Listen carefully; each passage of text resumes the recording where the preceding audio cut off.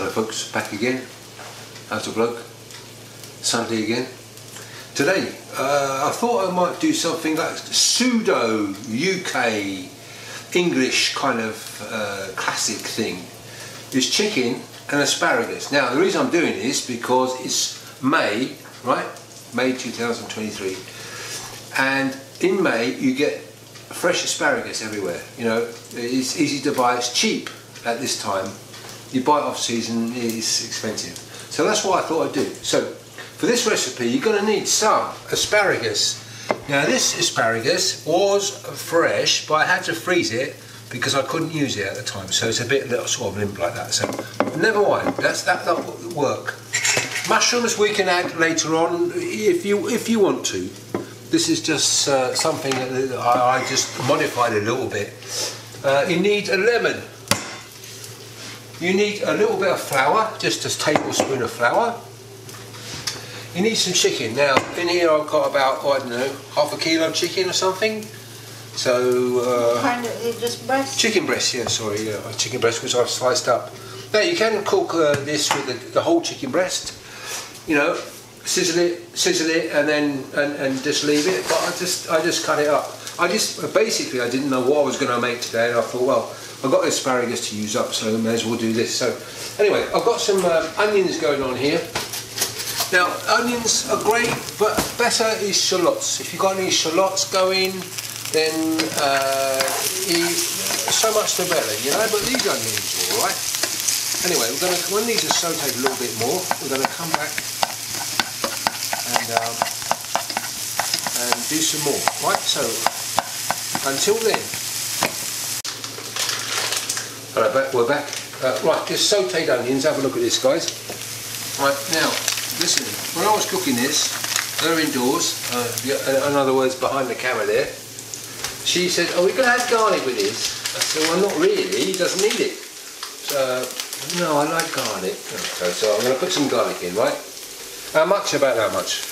Two cloves.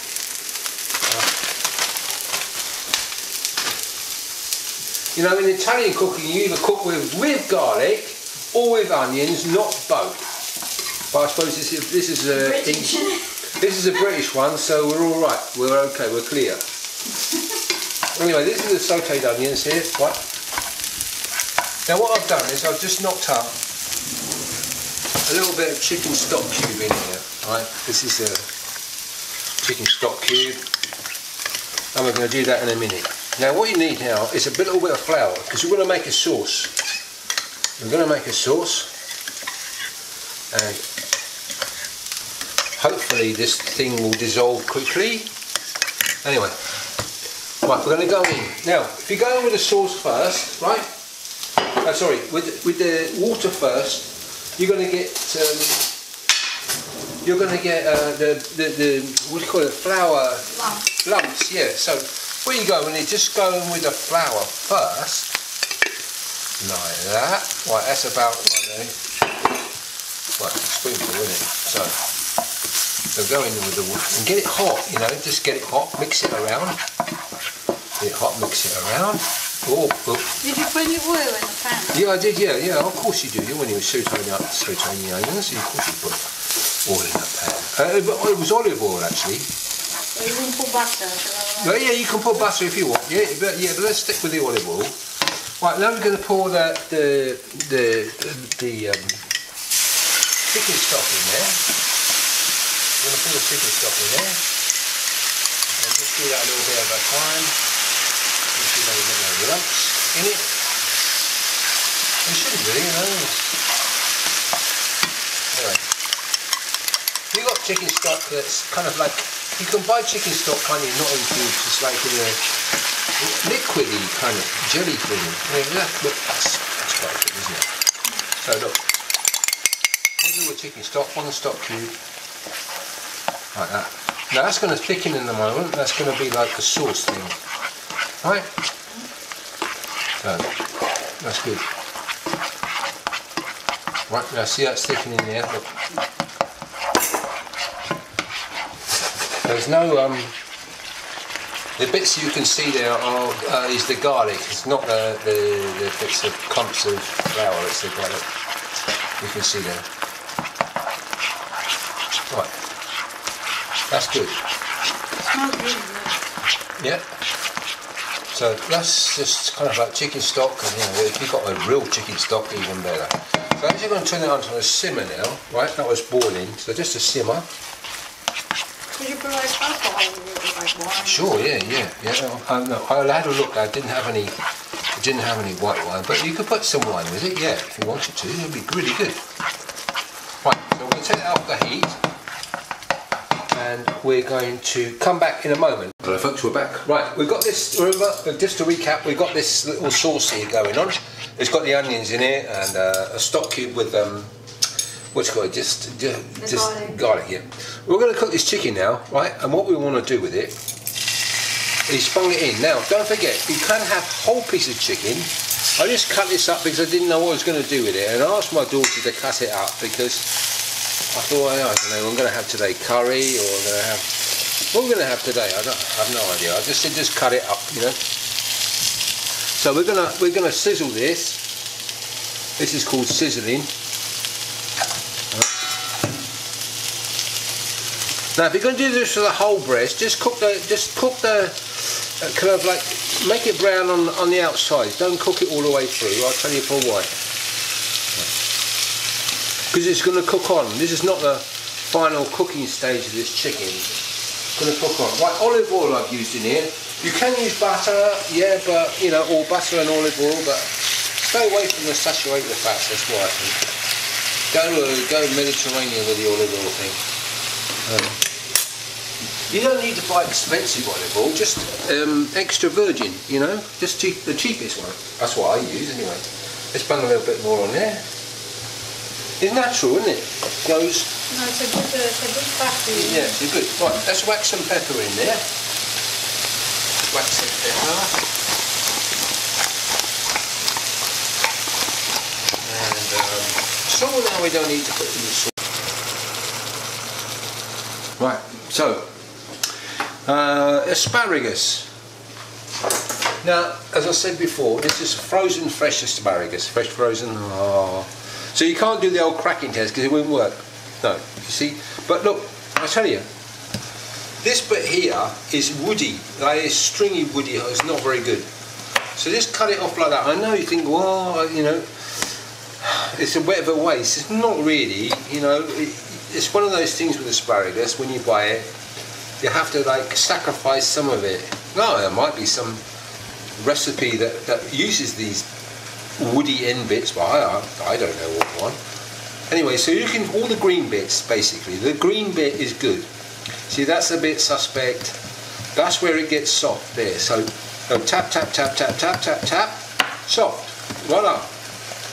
So if you have a horse or a cow or something. Yeah, sure. You, you put it. You can put it in the compost. Don't chuck it in the bin. You know, use it somehow. If animal, you've got some animals that will eat it, look, watch, watch. Tap, tap, tap, tap, tap, tap, tap. All soft. There we are. So there's, there's the bit, right? Let's do it again.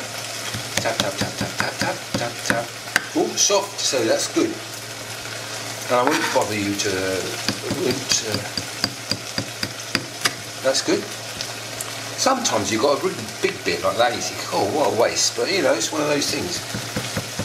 That's that's soft there. So out of this fresh frozen um, asparagus,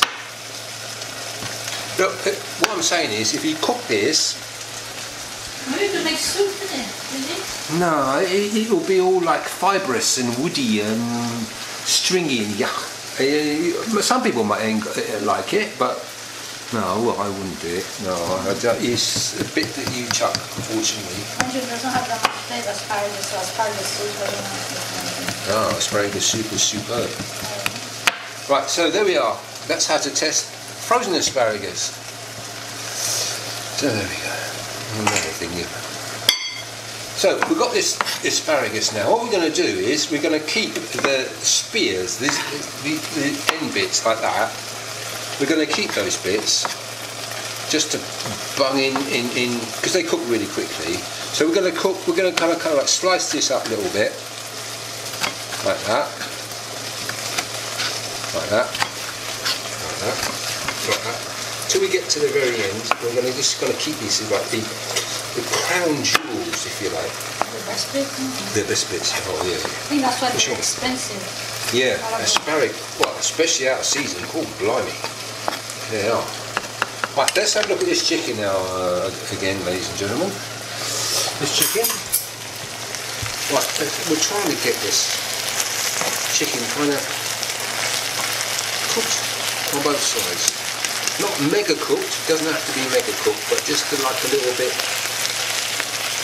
like that. Really. But to say, maybe. the yeah, you. Just a little bit of brownie like that, just you know, just a bit of colour on it. And then make it look anemic. You know, not anemic chicken anymore. Anyway, look,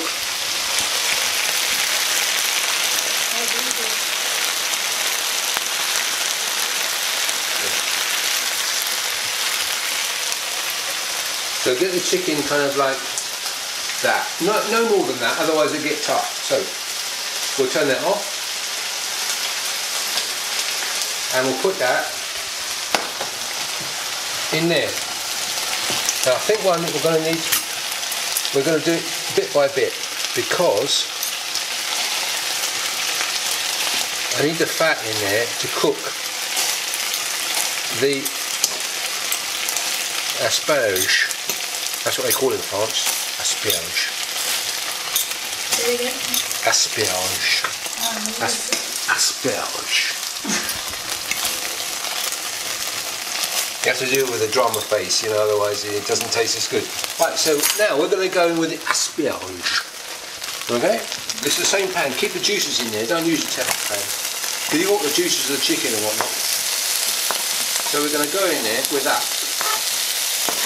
And we're just going to like sizzle them for a little bit. Let's turn it up. Got any heat there? Yeah, I think we've got some heat. Put some a little bit more olive oil on it. A little bit more olive oil.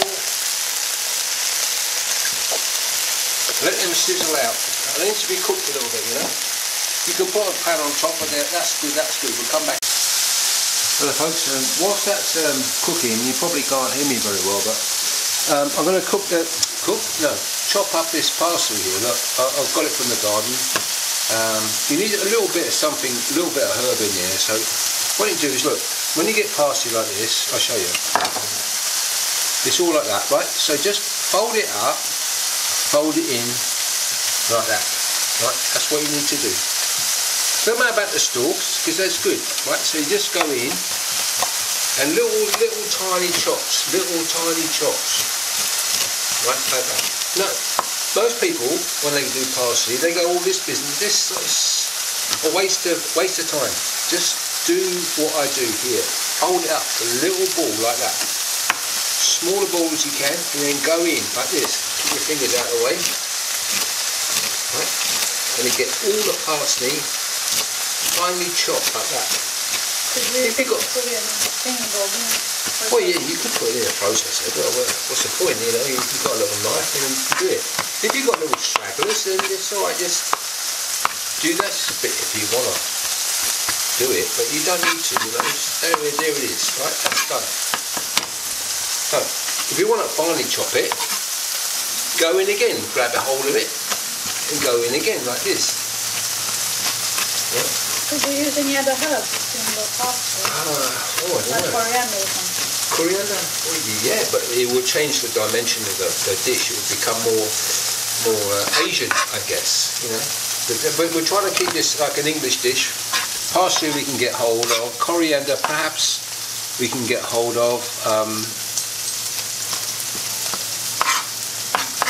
too strong nothing too strongly flavoured, otherwise you take the flavour away from the chicken.